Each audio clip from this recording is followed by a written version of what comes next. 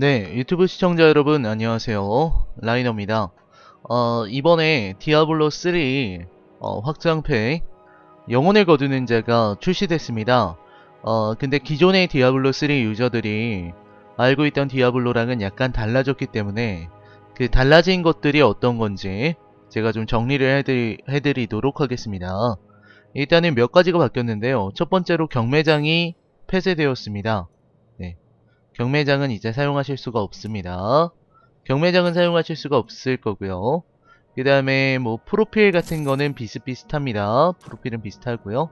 업적 게임 메뉴 메뉴 화면은 이런 식으로 바뀌었습니다. 네. 무엇이 달라졌나요를 누르면요.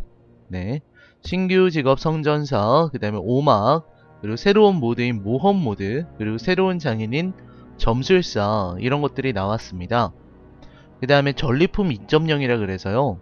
이제는 어, 전리품이 더 좋은 게 떨어지고요. 직업에 맞는 맞춤형 아이템이 떨어질 가능성이 높아졌다고 합니다. 네, 난이도가 완전히 바뀌었습니다. 이건 제가 조금 이따 설명을 드리고요. 정복자 레벨도 완전히 바뀌었습니다. 정복자 레벨은요, 이제 제한이 없어졌고요. 모든 캐릭터가 정복자 경험치를 공유하게 됩니다. 또 레벨이 오를 때마다 획득하는 포인트로 영웅의 능력치를 높일 수 있습니다. 그러니까 포인트 배분이 되는 거예요. 그 다음에 친목에서 클랜 및 커뮤니티라 그래서 어, 새로운 클랜이 나오게 됐습니다. 와우의 길드 같은 건데요.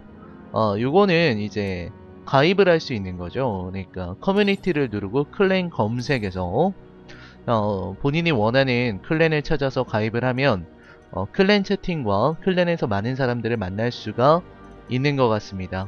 네, 요런 게 이제 클랜 채팅이고요. 어, 그 다음에 또 몇 가지 소개만 좀 드리겠습니다. 캐릭터 스킬이나 이런 건 많이 바뀌었는데요. 바뀐 거는 바뀐 거고요. 어, 그거는 이제 전부 다 보셔야 될 것 같고. 자, 캐릭터를 선택하면 영웅 변경은 이렇게 있고요. 영웅 변경은 옆에 있는 거고요. 영웅을 선택을 하고, 옆에 게임 시작을 누르기 전에 게임 설정을 보면은, 어, 이제 오막이 떴습니다. 그리고 모험은요, 캠페인을 완료를 해야만 모험 모드를 할 수 있습니다. 현상금 사냥이라든지 네팔렘 사원 이런 것들을 할 수 있는 게 모험 모드고요. 그 다음에 보시면 어, 일단은 퀘스트를 선택하는 거는 과거랑 똑같습니다. 똑같은데 이제 오막이 지금 방금 한 5분 전에 열린 거고요. 어, 그리고 난이도만 좀 설명을 드리면 될 것 같네요. 아주 짧은 영상이 되겠군요. 어, 난이도는요, 이 고행이라고 되어 있는데, 제가 고행 단계에서 시작할 거거든요. 네, 난이도는 보통, 어려움, 어, 교수, 요렇게, 요렇게 할 수가, 요렇게 있고요. 그 다음에 달인 난이도. 달인 난이도는 한 캐릭터를 60레벨까지 찍어야만 가능한 게 달인 난이도. 그리고 고행 난이도는, 어, 어, 아마 60레벨을 찍고 나서, 그리고, 어, 뭐, 달인 난이도 클리어, 뭐, 이 정도가 있을 것 같은데요. 저도 정확하게는 모르겠습니다. 어, 영웅을 바꿔서 제가 좀 보도록 할게요. 영웅을 제가, 어, 라이너 TV 대세로 바꿔서, 어, 죄송, 죄송합니다.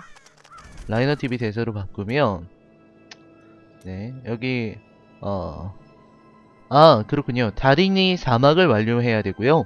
고행은 60레벨을 찍어야 됩니다. 네, 그런 거였네요. 어, 그 다음에 계속 설명드리면, 어, 다시, 어, 바꾸도록 하겠습니다. 어, 바꾸고요. 어, 게임 설정을 보시면, 난이도가, 보통 난이도는 디아블로 3의 경험이고, 기본입니다. 어, 그만한 경험치 증가가 없고요. 어려움으로 하면, 좀, 음, 어, 좀 쉬운 거죠. 아, 조금 쉬운데, 이제 75%, 75%, 이렇게 늘어나는 거고요. 좀 희귀한 장비가 좀 있어야 된다는 거고요. 고수는요, 그만한 경험치가 100%씩 늘어나고, 어, 어떤 적절한 보석과 마법 부여가 있어야 된다. 이런 거고, 달인. 달인은 영웅의 기술을 자유자재로 다루며, 전설 장비를 몇 점 보유한 플레이어에게 추천하는 난이도다. 그래서 그만한 경험치 200%입니다. 그러니까, 이게 예전에 불지옥 정도에 해당되는, 그러니까, 노멀, 악몽, 지옥, 불지옥, 그 다음에 그 다음 단계가 고행 단계입니다. 고행 단계는 최고의 실력과 장비를 갖춘 모험가만 도전할 수 있는 난이도고요. 금화선 100%, 경험치 300%, 현상금 사냥으로 획득하는 어, 뭐 그런 것들이 두 배 늘어나고요. 61레벨 이상의 괴물에게서 황실 보석이 획득 가능하고 70레벨부터 새로운 전설 아이템 획득이 가능하고요. 어, 난이도는 막대한 수에 따라서 금화 경험치 전설 아이템 획득 확률이 어, 증가한다고 합니다. 그러니까 이거에 따라서 이렇게 고행 단계를 올리면 400, 400, 어, 3단계를 올리, 올리면 550씩, 더 올리면 800, 어, 이런 식으로 1150, 1600%까지. 네, 고행은 이렇게 어, 되게 됩니다. 저는 고행 1단계로 시작을 할 거고요. 오막 퀘스트 바로 시작하면 될 것 같네요. 자, 그래서 디아블로 3를 처음 시작하신 분들 혹은 어, 과거에 했는데 어, 디아블로 3 재밌을까? 어떻게 바뀌었나? 하시는 분들한테 좀 좋은 정보였으면 좋겠습니다. 어, 정보는 경매장이 사라졌다, 새로 커뮤니티 클랜이 생겼다, 그리고 어, 게임창은 이런 식으로 바뀌었다는 거. 네, 그 정도 보시면 될 것 같고요. 저는 이제 어, 영상 두 개를 올릴 겁니다. 뭐냐면 음, 오막 오막 진행 영상 요걸 올릴 거고요.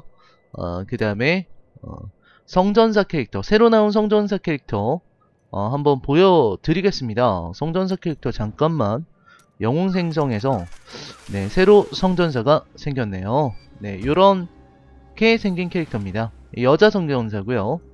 남자 성전사 이렇게 있습니다. 아마 그 블리, 자드 디아블로 홈페이지에 올라온 공식 소설, 공식 단편 소설의 주인공이 아나진, 아나진, 아나진이라는 어, 여성 캐릭터이기 때문에 성전사는 여성이 어, 중심이 되는 게 맞는 것 같네요.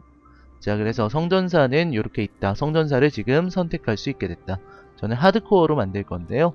어, 요거는 나중에 만들도록 하겠습니다. 자, 아무튼 조금의 정보를 드리기 위해서 이렇게 어, 영상을 찍어봤습니다. 네, 디아블로3 시작하시는데 어, 짧은 가이드가 되길 바라고요.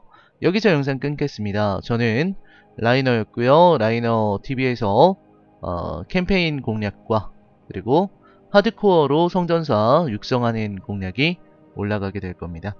네, 그러면 여기서 어, 영상 끊도록 하겠습니다. 감사합니다.